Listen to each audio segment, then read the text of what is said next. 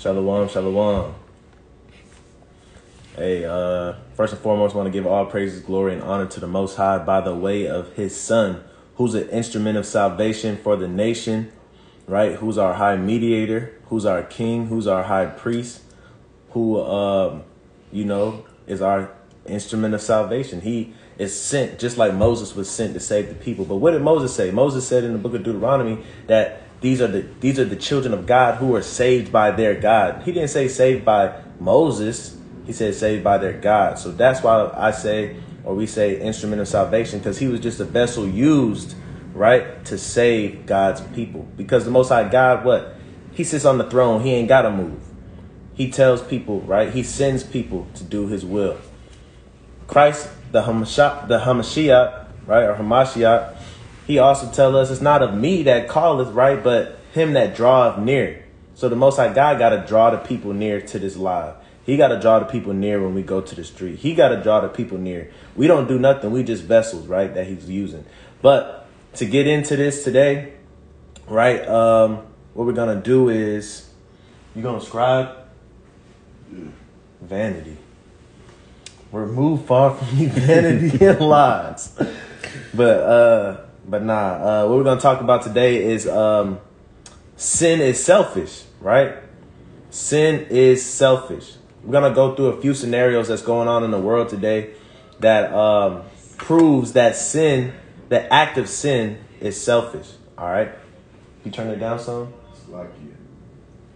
All right, so first, let's go to Jeremiah 31 and 22. All right, this is the book of Jeremiah, chapter 31, starting at verse number 22. How long wilt thou go about, O thou backsliding daughter? For the Lord hath created a new thing in the earth, a woman shall compass a man. Right, read that last part again. A woman shall compass a man. Right, so why? Is, so when it says compass a man, uh, you could say, you could say that um is surrounding a man, or you could say it's surpassing a man, right? But why would the Most High God prophesy and say that they're surpassing a man moving forward, being lifted up over the man, right? It's a new thing in the earth, he says. So this is new. That's crazy because he said ain't nothing new under the sun. But he said there's a new thing in the earth, right? But if we make sense of that, we could we could say um, this was new back then too in Egypt when they worshiped the women over the man, or when even um, in the in Roman culture or Greek culture, right? They had um, most of their female goddesses in the Bible is just going to be referred to Ashtoreth, right? But that's a, a multiple of deities that they worship that were female entities, right? Because they worship the women. So nowadays, it's a new thing in the earth. The, even though this book was written thousands of years ago, it's a new thing in the earth, right? We went from women having to fight for their freedom and fight for a right to vote and fight for a voice. We went from that to what? To women now ruling the world. Who runs the world? Girls. What's what's un hey, if I ask men today what's undefeated, they're gonna give me the same answer. Right? But it's not. It's not undefeated. You just gotta do something about it. And with that being said, you know, Kevin said Kevin Samuels died, and you know, everybody's been talking about it. Um, so I guess we'll say our piece, but you know, Kevin Samuels died and um am I saying the brother is righteous? No, not at all. I'm not saying the brother is righteous at all right? So don't get me wrong. I'm not saying the brother's righteous uh, because um, he did say something like, um, we got to advocate for the homosexual men because these women aren't worth anything, right? So I got to draw the line right there and just tell y'all straight up I'm not supporting or justifying the righteous over, means justifying the wicked over the righteous, right? But what Kevin Samuels was doing was reestablishing order, right, in the world not just for men, but for black men, right? So-called black men, because we've taken the back seat. So read that one more time. The book of Jeremiah 31 and 22 again. Um, how long wilt thou go about, O thou backsliding daughter? For the Lord hath created a new thing in the earth, a woman shall compass a man. Right. So he says that they're backsliding, even though women are being pushed forth. Right. So it's so it's kind of like a. So is that a is that a double entendre? They might say. I don't know. So, you know, with that being said, Salakia. But with that being said, you know, that's that's being selfish. The women nowadays are selfish beings. For an example, Slakia.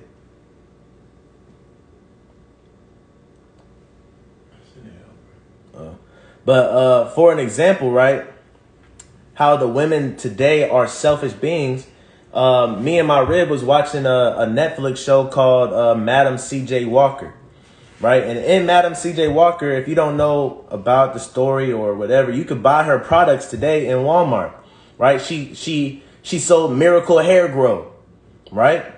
And so Madam C.J. Walker surpassed her husband, right? At one point, her husband was you know ruling the house, and and she loved her husband because her husband loved her and accepted her how she was, and her husband was happy with her, right? Even though they weren't living as millionaires or anything like that. But what happened was she got that bright idea. And because that spirit was in the earth to compa- surpass a woman, right? It caught fire on her, and she was the first, not only black, but the first woman self made millionaire in the United States. But the example is when you watch that docu series or whatever on Netflix of her life, right? She went up against um, Booker T. Washington, right? And, and told Booker T. Washington, uh, why won't you let me speak or why won't you let me bring this out, right? This will help the black community. And Booker T. Washington said, he said, I can't let you do that because if you do that, the woman will surpass the man. That's what he said in the show, right? And he had good means to say that because now we live in a world where our women do surpass our men. They do call the shots. They do act like men, right? They do. They our our women are. That's how you know it's sin because it's selfish. That's why we titled it "Sin is Selfish," right? Our women want to make decisions. They want to say uh, what goes and what doesn't go. They want to say when we when we're gonna move and when we're not gonna move. They want to say what we're gonna eat and what we're not gonna eat. They want to say what's gonna happen for our baby and what's not gonna happen for our baby. They want to say all these, they want to say where we're to congregate and where we're not to congregate, right? Our women call the shots because they've surpassed men, like Jeremiah just said, right? So that's one way of how sin is selfish in the world today, right? Let me make sure. Okay, another point, right? Our women, they love being in that power seat so much. And this is not going to be a whole thing about women. I got other bullet points too. This is just the first uh, point about how sin is selfish right? But our women, what else do they do? They love to back up gay men. They love to back up gay men. Why? To keep to keep their seat at the top. The more gay men we have, the more reason for women to be dominant. The more re- reason for women to control, right? So that's why they'll praise gay men and stand up for them and march in the streets, right? But they won't stand up for masculine men. They won't stand up for the men that's actually using their voice. All right? And that's selfish, right? That's a selfish motive. Um, so check this out. Let's go to Leviticus 20 and 13. Con. Heading to the book of Leviticus. Put a tab in that. This the book of Leviticus, chapter 20, and we're gonna go to you said verse number 13. Con. Con, Leviticus 20 and 13. Bear with me. And it reads if a man also lie with mankind as he lieth with the woman, both of them have committed an abomination. They shall surely be put to death. Their blood shall be upon them. Right. Read that last part, please. They shall surely be put to death. Their blood shall be upon them. So this is talking about homosexuals, right? This is talking about laying with mankind and mankind or womankind and womankind. This is talking about homosexuals, and it says they should surely be put to death, right? Um, so we're gonna we're gonna go throughout some examples of homosexual homosexuality, right, and prove that it's a selfish desire, right? Because when we come into this truth, or when we come into the knowledge of the truth, we know what's right and we know what's wrong, right? Um, you a lot of them might feel like they're born that way. They might feel like they're born to like the same sex. They're attracted to the same sex. A lot of us, right, might think that we were born with the taste for alcohol. We were born, right, to be heartbreakers, right? You you have a baby straight out the womb. You, a lot of people say, "Oh, that baby's so cute. He's gonna be a heartbreaker. She's gonna be a heartbreaker." Next thing you know, they're playing a bunch of men, playing a bunch of women, right? So you might think you're born to be something. You might think you're born to be um born uh to be um what what's something else? Uh, born to be, um, I don't know, a, a stealer, a pedophile, or whatever. Right. But you gotta change your ways. If not, that's selfish. You want to do what you want to do, right?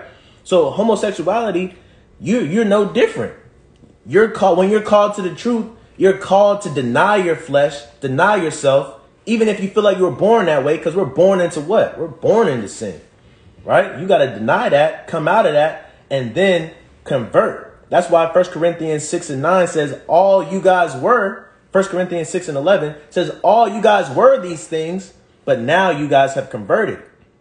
Right? So if you don't convert, that's selfish. Salakia also, Speak up. Salakia also, that's another reason why we are to get born again.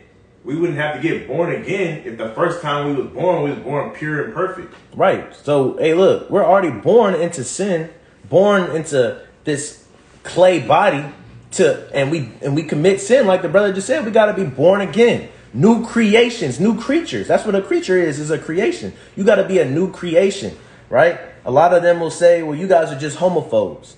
Right? And I and me and my rib was watching a, a video and the brother was saying, "Well, yeah, we are homophobes and God's a homophobe too." The Most High God of the Bible's a homophobe. That's why I had the brother read that last part again, saying that they shall surely be put to death. Right?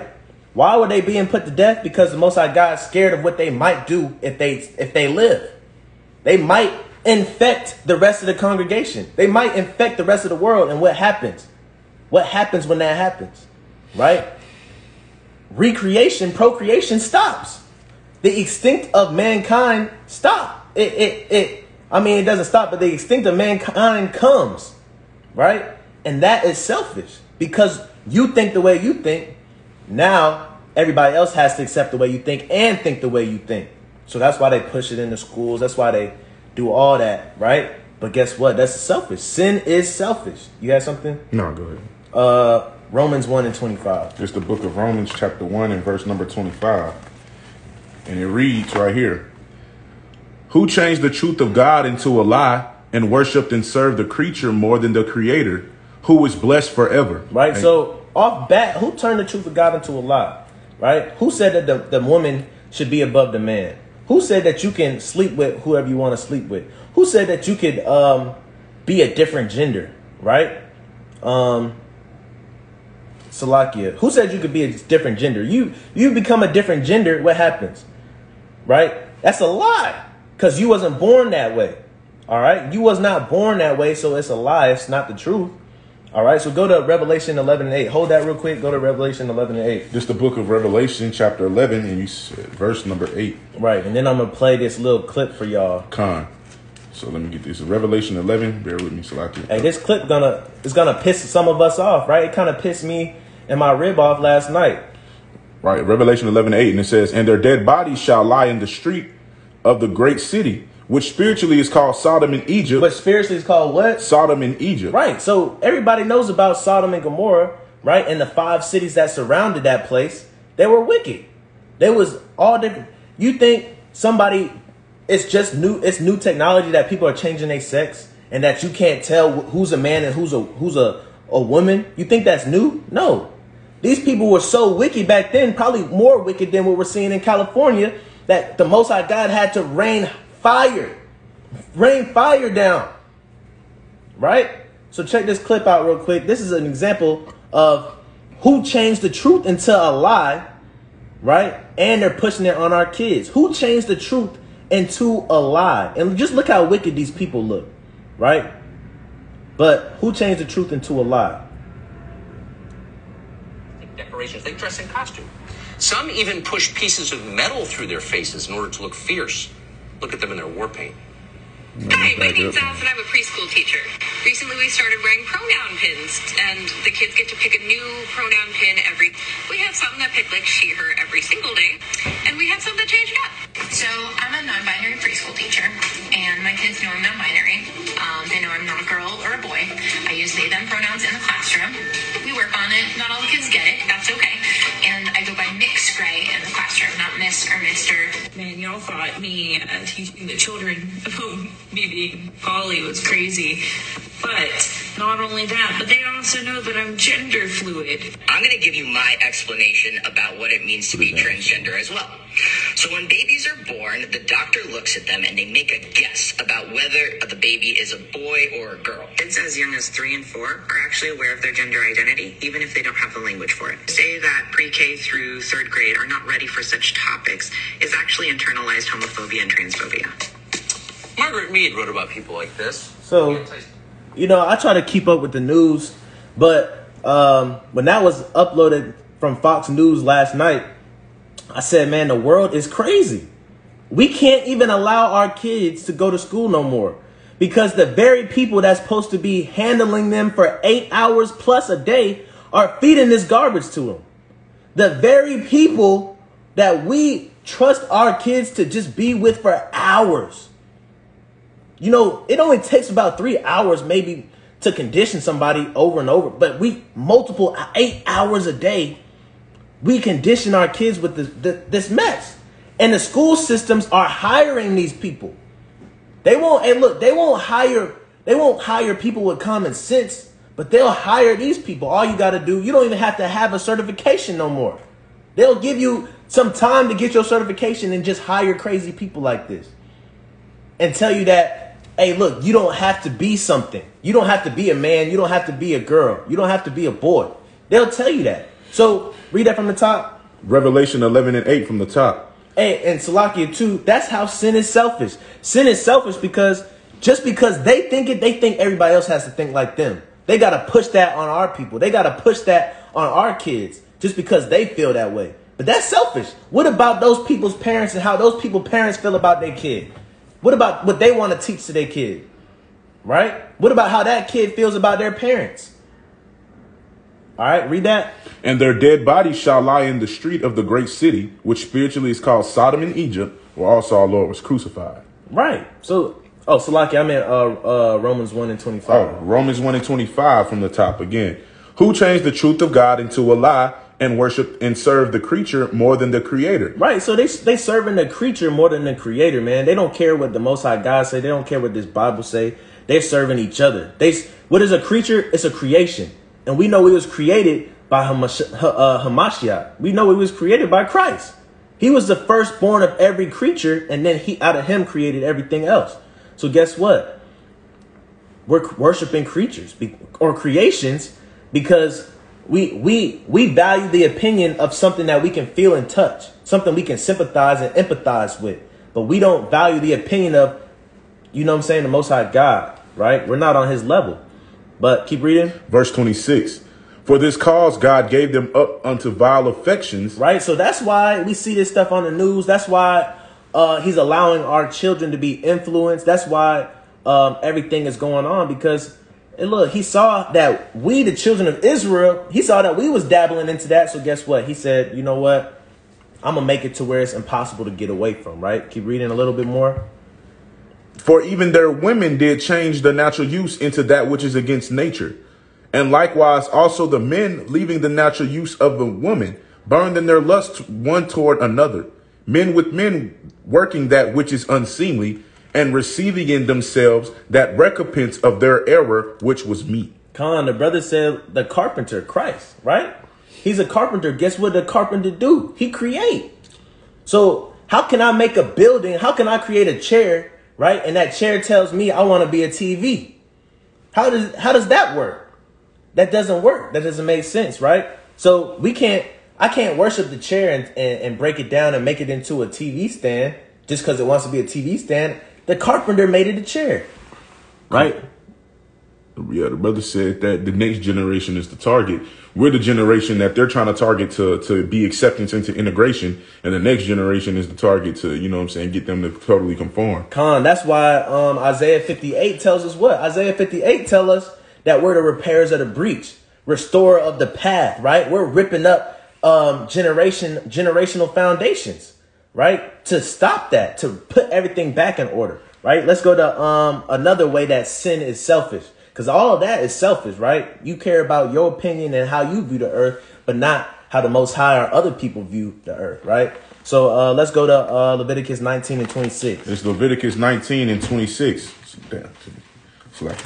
Leviticus 19 26. Ye shall not eat anything with the blood, Neither shall you use enchantment nor Right. observe So time. right there, you know, we see that the the media is pushing what drinking blood and rituals and all this other crap. We see we see uh Megan Fox and M- M- MJ um, MGK openly in interviews saying they drink each other's blood and do a ritual and they they kind of laugh it off. Right.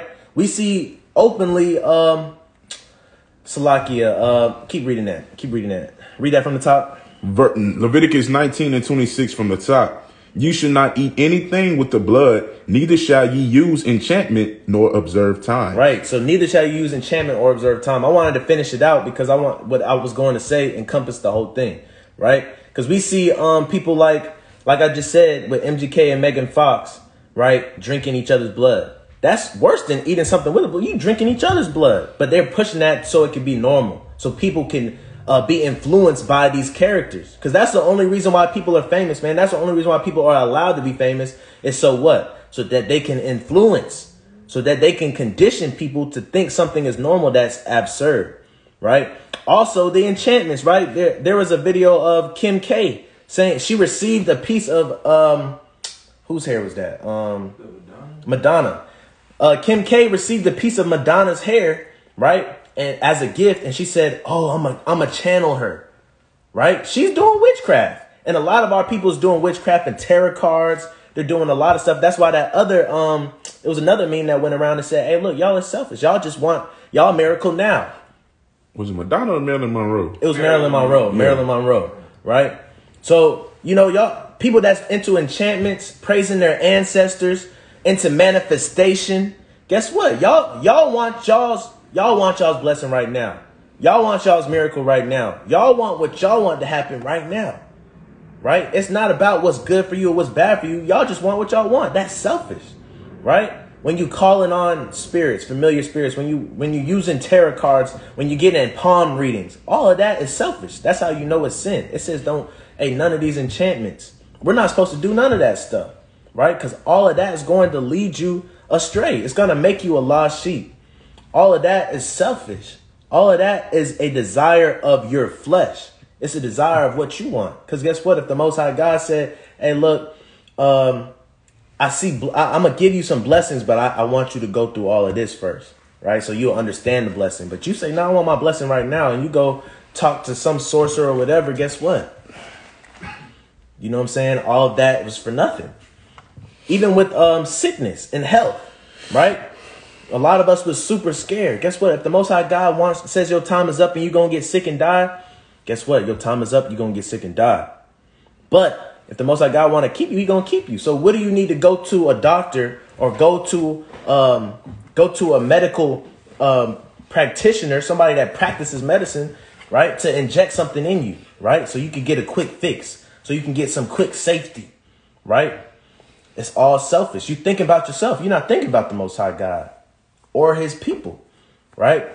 But um, with that, this was a short. Can I say something? Real quick? Con, you got something? Yeah, because it's right on topic, right? So this was a few months back. We were we were out preaching on this uh, on Fort Valley State, and uh, we ran into this homosexual girl. And um, so long story short, she was talking about how it's hate, it's hate speech when you when you speak speak against the LGBT community, right?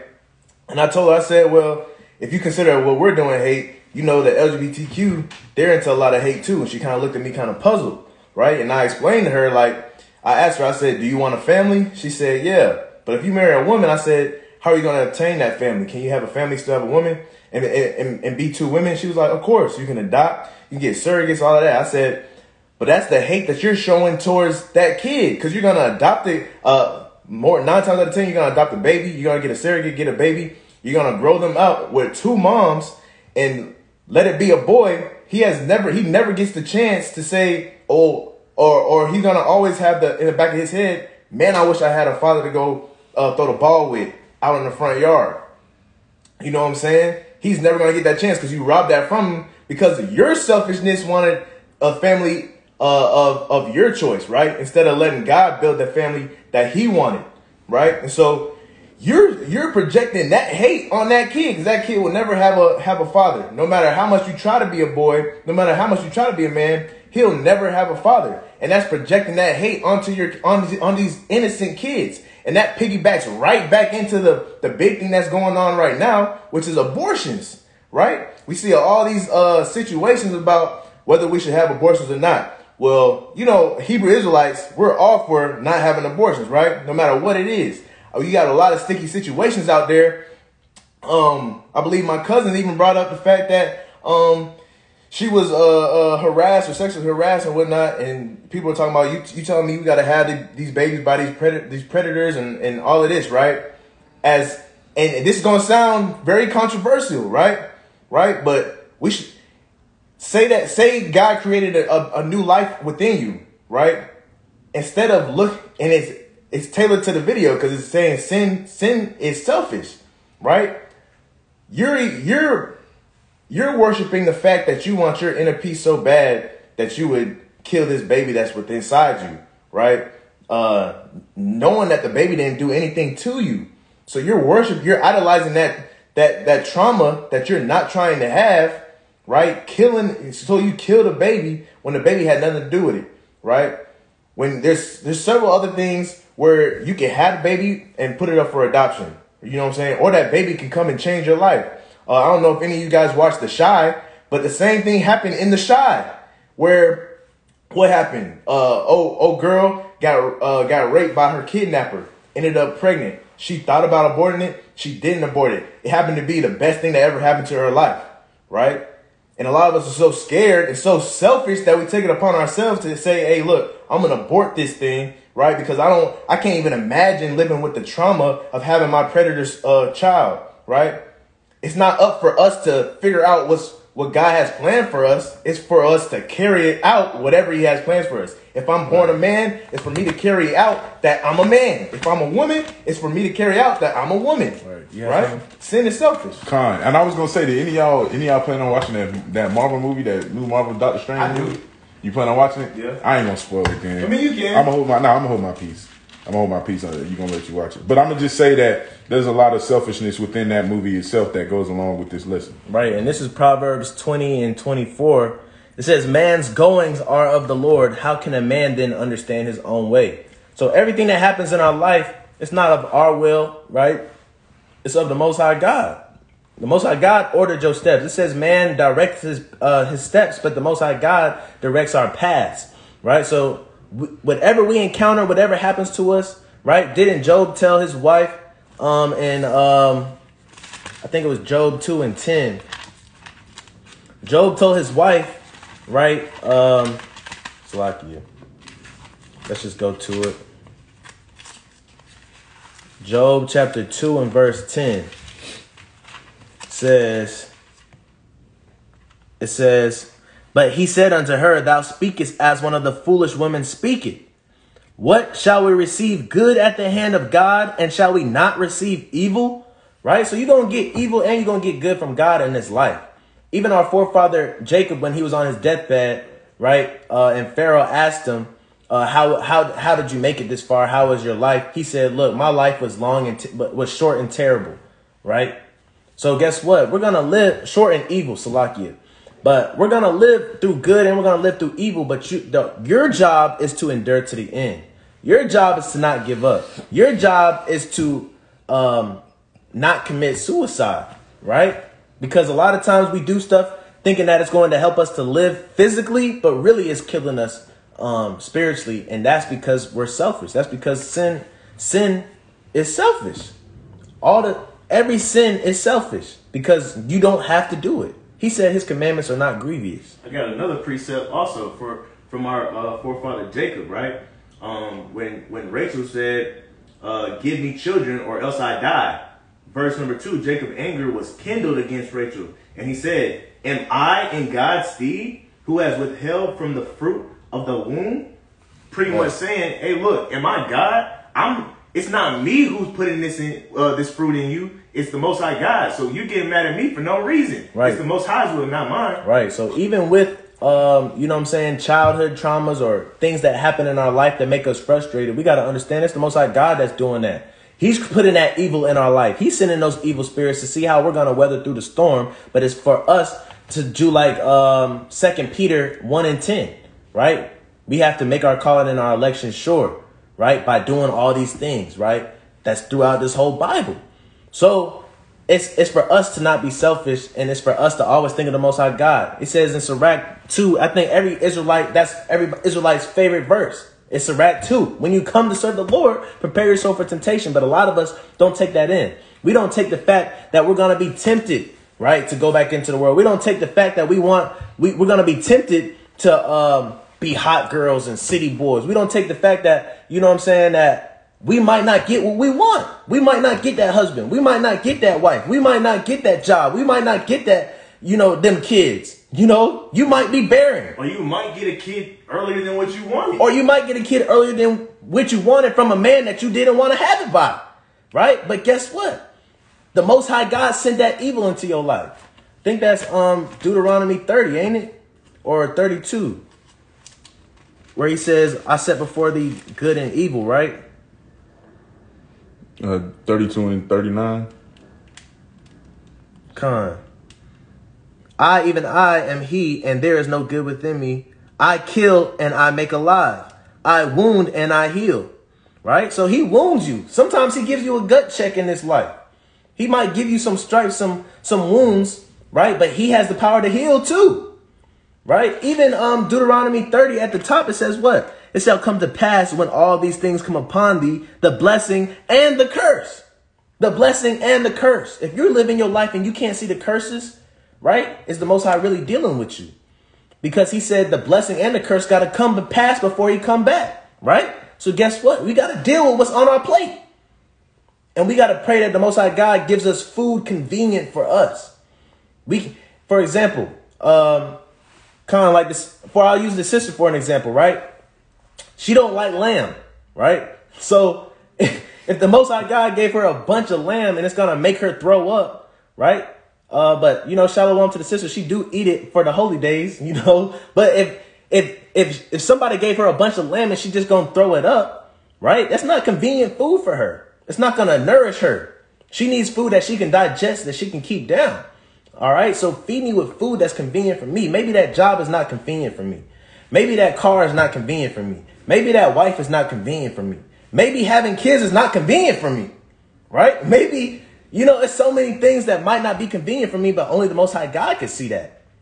Right? But He got the power to heal as well. The Most High God can, can heal you and say, guess what? I didn't give you this because I wanted you to have that. I didn't. But we got to do the first part and not be selfish.